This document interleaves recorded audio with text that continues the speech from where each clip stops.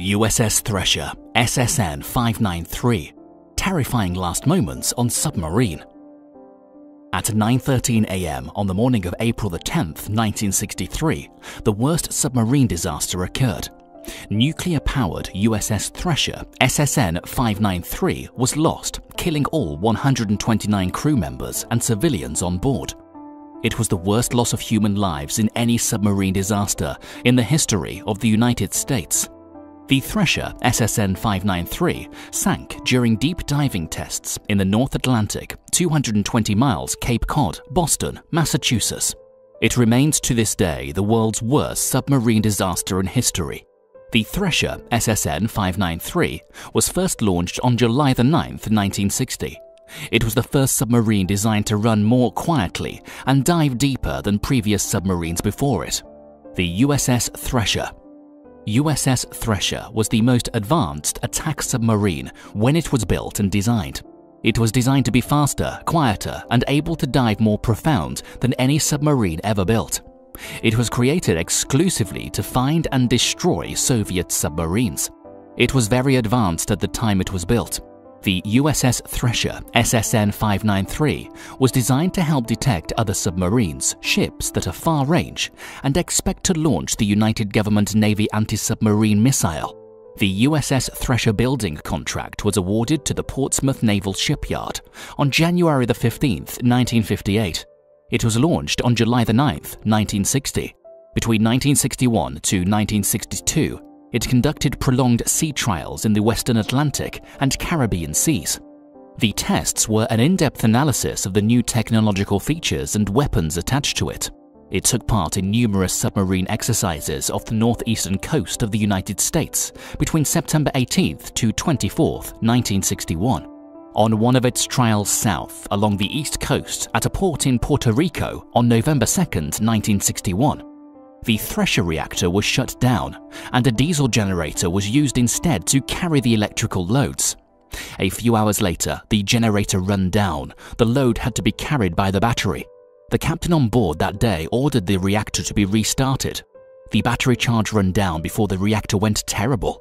The temperatures inside the machine rose to 60 degrees Celsius, leading to an evacuation of the submarine. Another submarine, Cavalla, provided power from its diesel helping power the Thresher reactor.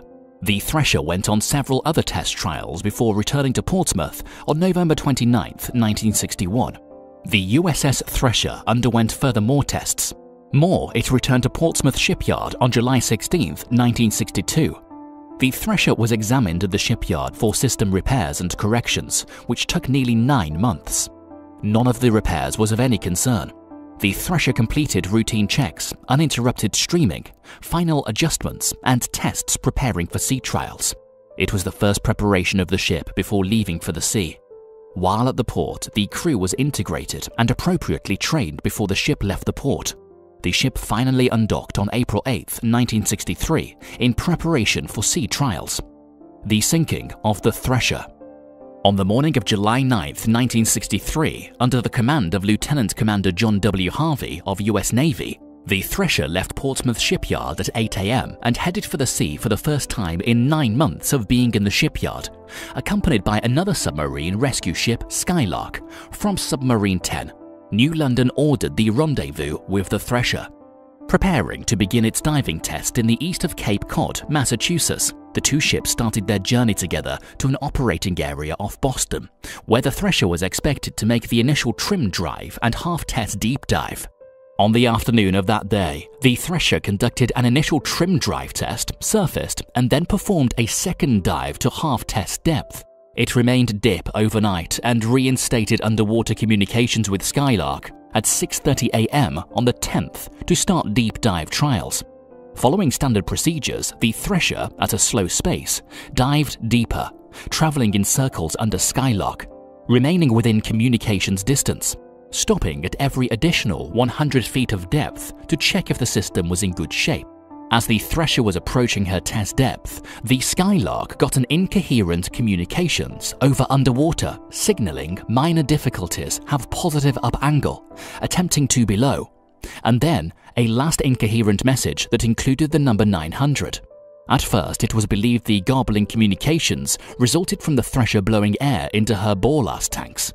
Situations like this could happen when the submarine is passing through a thermal layer or if there is turbulence around the ship receiving communication.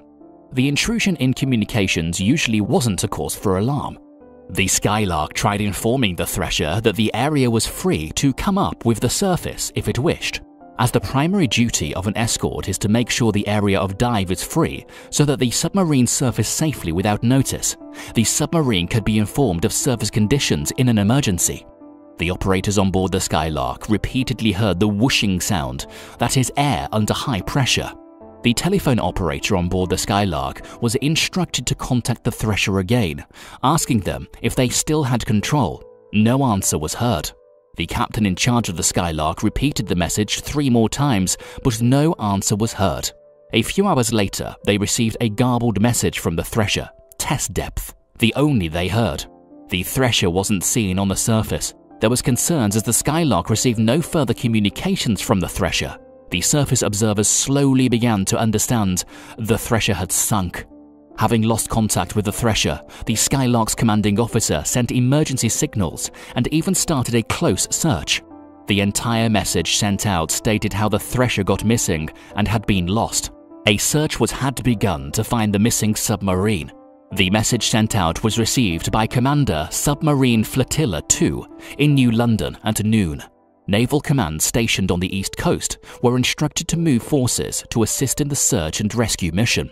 USS Seawolf SSN 575 and the USS Sunbird ASR 15 were redirected from their routine operations to the search area.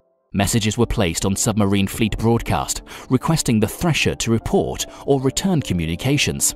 6:30 p.m. that day, after an unsuccessful search, the Commandant Submarine Force Atlantic sent a message to Portsmouth Ship Naval Yard, instructing them to start notifying next of kin and families of those on board the Thresher, starting with the captain's wife.